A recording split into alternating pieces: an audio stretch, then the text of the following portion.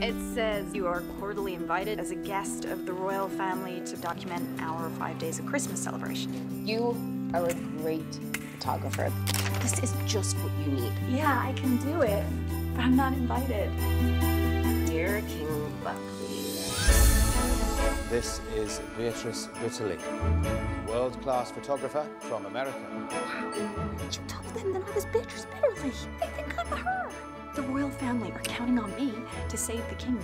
This is your time to show them what you can do. Ta-ta.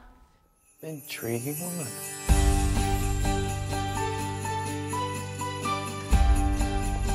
Who are you? I've been asking myself that question a lot lately.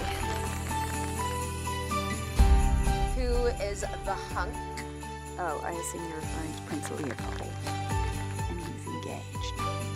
And he's engaged. What's the deal between the Duchess and the Prince? The real deal. I do not trust her. Keep your eyes on that girl.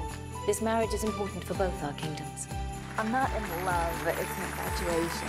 He's a prince. It's not right for our son to be gallivanting around help. Forget about her, Leo. She's not who you think she is. But I guess Christmas wishes are just that, huh? Wishes.